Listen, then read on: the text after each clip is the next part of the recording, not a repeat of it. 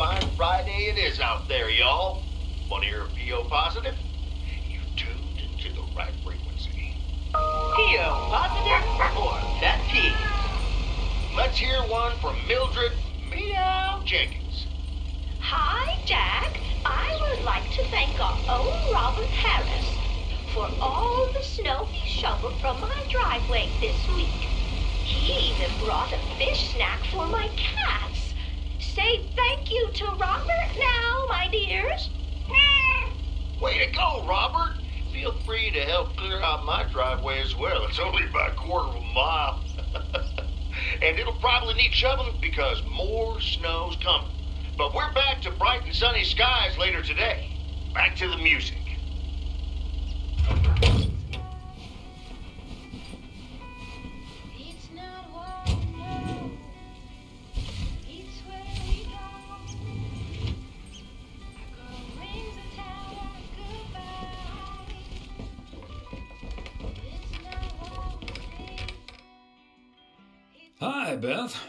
A delivery for you.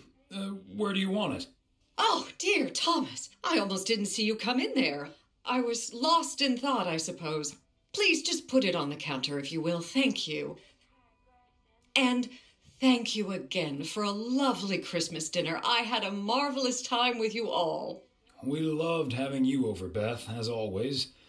Emily and I had a great time.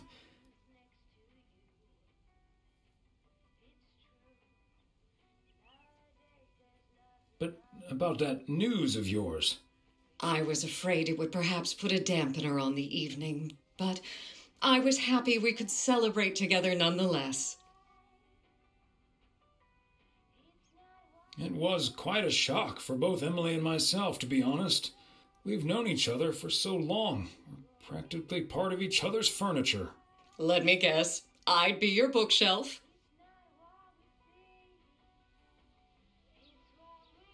Yes, and we'd be your mailbox. or I would be, I suppose.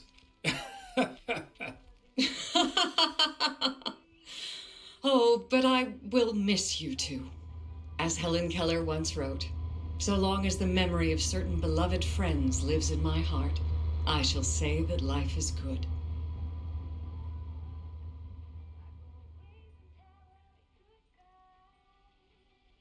We'll miss you too, Beth.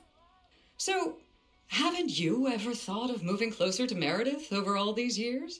She is living quite a ways away, right? Thought about it? Yes. Your news has put things into perspective, I suppose. But leaving here would sure be a big step. M- maybe too big, I don't know. Who knows? Maybe Meredith will even make it out here one day. and there's always the phone, of course. And don't forget the Postal Service.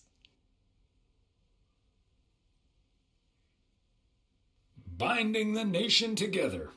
Well, I won't keep you any longer, Thomas. I need to sort through this new delivery you've just brought in. And believe you me, that's going to take me a while. I understand. It's best to take your time with things like that. Exactly. Whether one likes it or not. Until next time, my friend. Up and at 'em. See you, Beth.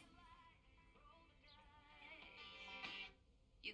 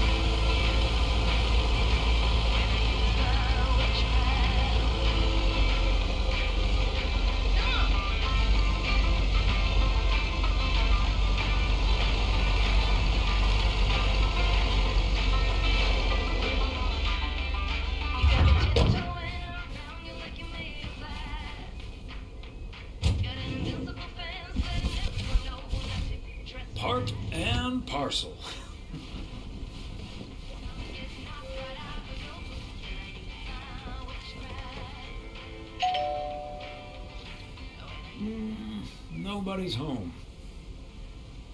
Another day, another dollar. I'm starting to sound like Frank.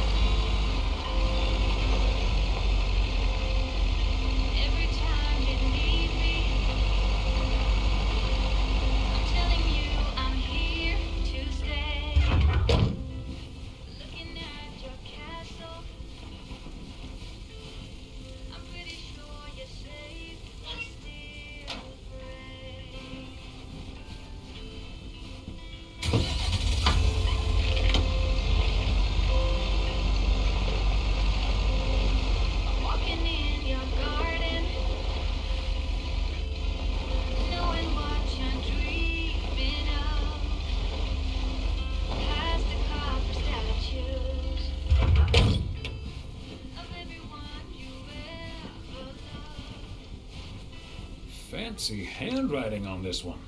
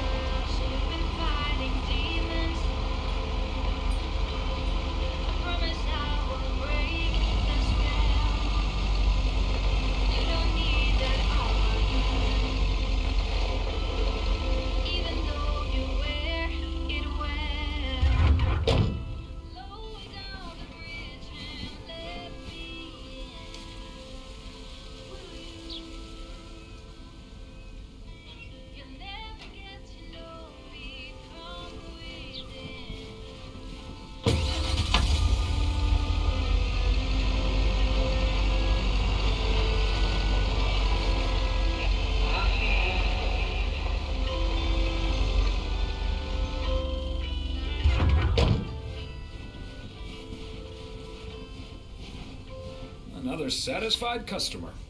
Unless it's Bill's.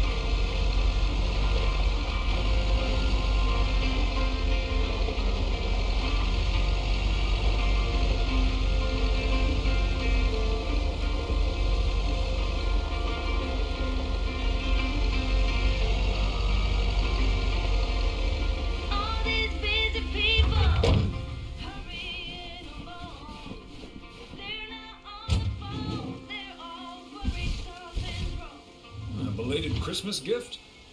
Maybe.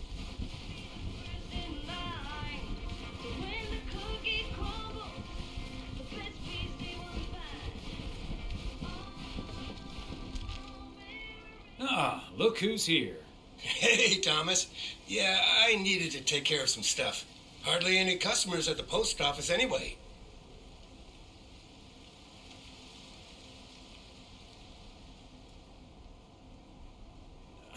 Don't know, Frank. What if there's someone who needs to send something urgent? If it's really urgent, I'll drive it over to the distribution center myself. They know they can count on me. Can't say that you're wrong there, Frank. That big sucker you're carrying is for me, huh? Right on time. It's all coming together. Hey, Thomas, you can keep a little secret, right?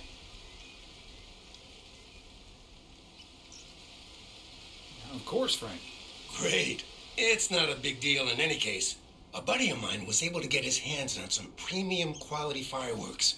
I'm selling them with a nice profit. And anything I can't sell, well, let's just say you want to be outside Moe's Diner when the clock strikes 12 on New Year's Eve. Frank, that sounds illegal and dangerous.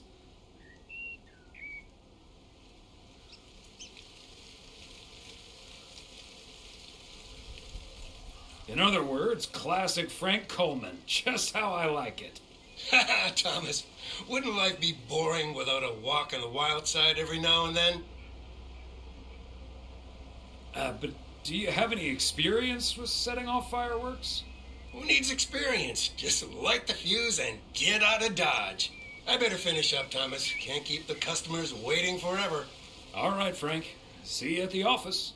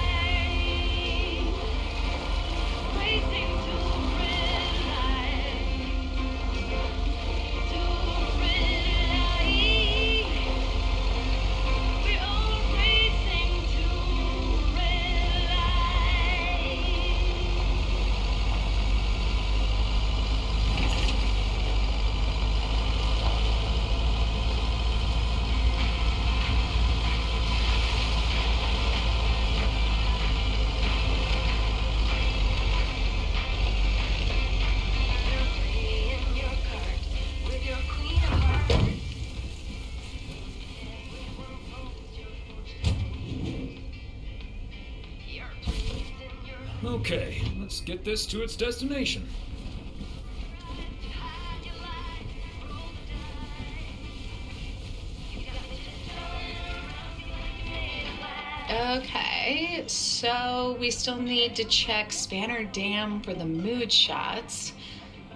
According to this, it offers damn fine views. So, Hey, Mr. Mailman. Come on over. Talk to us for a sec. Gabe, we don't have time for idle chit chat. He can help us out, Ilsa. No one knows the town like a mailman. Right, Mr. Weiss? Hey, Mr. Serrano, Miss Richter. Please, call us Gabe and Ilsa. He can call you Gabe and Ilsa. I prefer Miss Segment Producer Extraordinaire.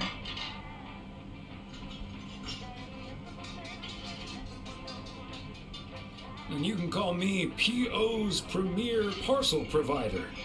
Thomas for short. Anyway, we're scouting out this beautiful town of yours for our report on small town America. It's great, but we could use the inside track. So, any secret spots we're bound to miss, but shouldn't? Well,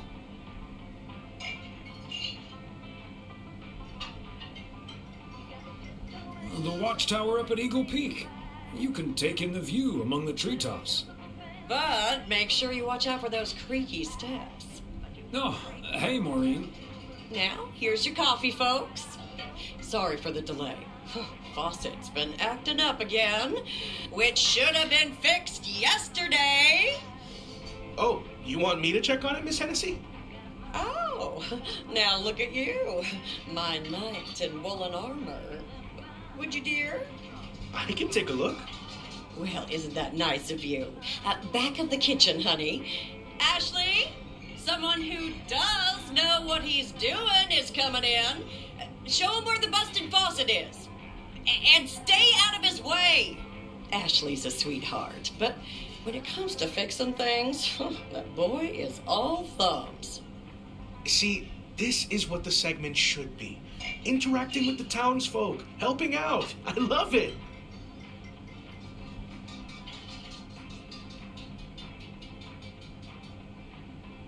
Does he actually know anything about faucets? Yeah, you're in good hands, Maureen. Gabriel may look and act like a naive little pup, but he can fix anything.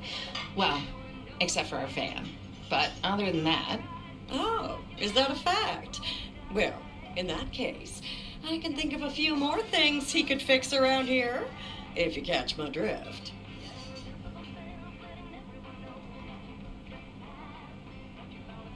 Maureen, there's a lady present. Hmm. Uh, let me just go check him out. Uh, check on him, I mean.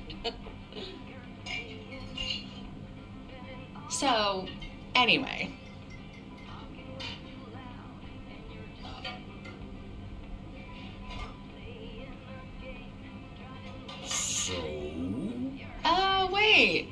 You had the Connor Price experience the other day. Have you recovered yet? I actually encountered him outside the motel yesterday evening.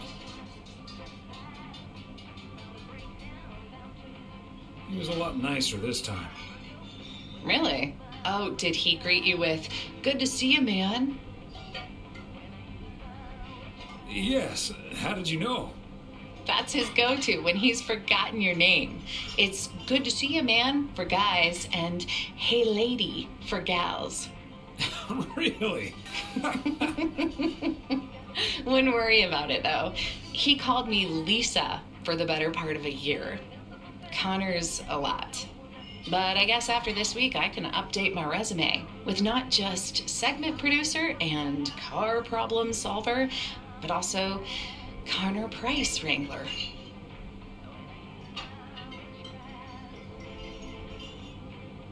Gabriel seems very nice, though. That should make things easier. Oh, yeah. He's a big old puppy dog.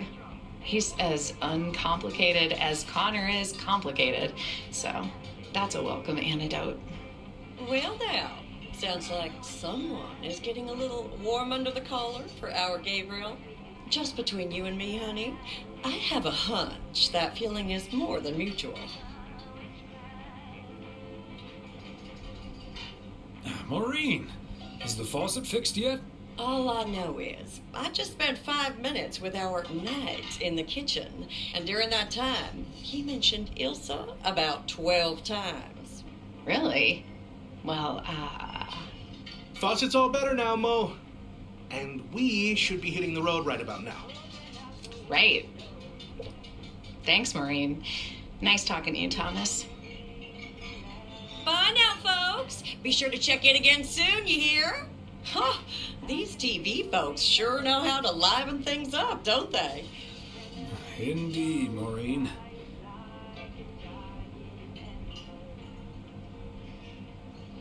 They're the talk of the town, all right. Oh, that reminds me. Uh, you know about my little New Year's Eve shindig, right? I'm counting on you and Emily. We'll party like it's 1986. Because it will be.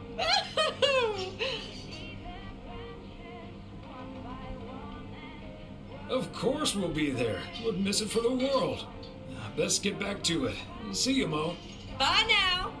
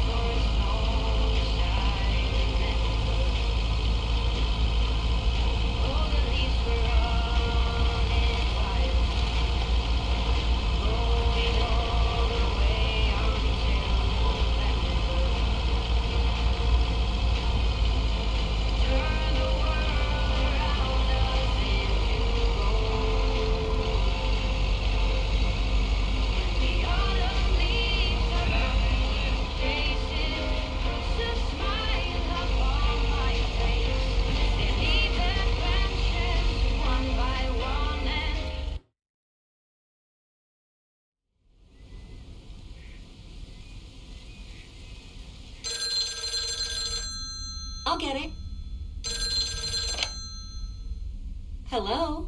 Uh, very good evening. Am I talking to Mrs. Uh, Emily Weiss? Yes, sir, that would be me. Ah, fantastic. It's a pleasure to talk to you.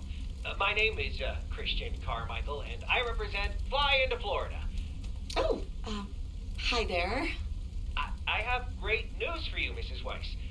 It's been a while, but uh, do you perhaps remember entering into our Fly into Florida sweepstakes? Um, mm, now that you mention it, I think so. Yeah. Was that the one on the back of the juice carton? That's the one. And I am more than happy to tell you that you are the winner of the grand prize. The grand prize? Wow, uh, fantastic. Um, I'm afraid I've forgotten what it was. Could you refresh my memory a little bit? Uh, uh, no problem, Mrs. Weiss. Uh, you have won a two-week trip to Florida for two. Wow, F- Florida? Really? I won? I have never won anything in my life. Uh, hold on, I need to tell my husband. Honey, we won. I'm talking to a gentleman from Fly into Florida, and he says we've won a two week holiday for two. Get out of here. Florida? wow. Isn't it great? We're so happy. Thank you so much. You're very welcome. You've got plenty of time to let it all sink in. Uh, next, we'll be sending you an extra special envelope. It will contain a confirmation letter, airline tickets, hotel tickets, and I totally forgot to say this earlier a $500 check covering any additional expenses. Oh, Wow, I can't believe this is happening. Well, it most definitely is, Mrs. Weiss. And we'll be making sure you both have the time of your life. There's one thing I must stress the dates can't be altered. So if you have plans for the first two weeks of September, this would be a great moment to change them. And I hope this answers all of your questions for now. Congratulations on winning. And we look forward to seeing you fly into Florida. Thank you. Bye. I, think I need to sit down for a moment. Ah, Florida. Oh, uh, that's Robert. S- Sorry, honey. I-, I can't celebrate with you right now. But I'll make it up to you tomorrow night at Moe's. Mm, I will hold you to that. Have fun on the ice, hon. And when you start to freeze out there, just think of sunny Florida.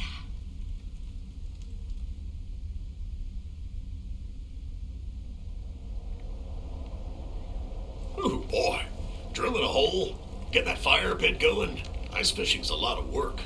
And it's cold, but we're fishing all right.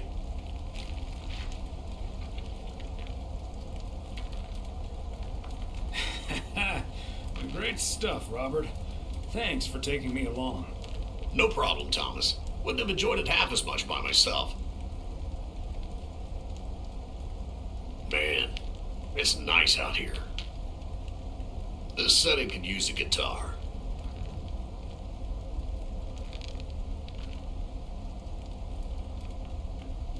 Yeah, guitar tunes would sound nice right now.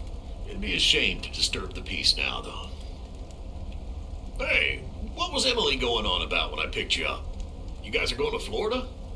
Yeah, apparently we've won a two week trip.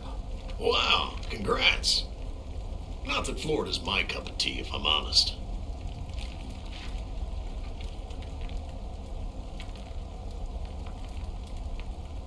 Oh, you'd rather stay in good old P.O., huh? Yep, I'm perfectly happy with what I've got right here.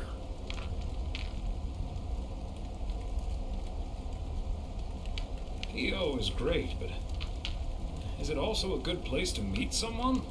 Uh, I know what you're hitting at. The answer's no, of course. But maybe this is what I need right now.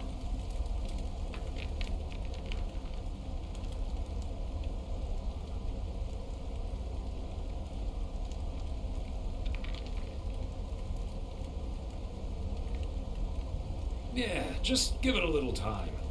Or a lot. Nothing wrong with that. Wouldn't it be ideal if Mrs. Right dropped by my house one day?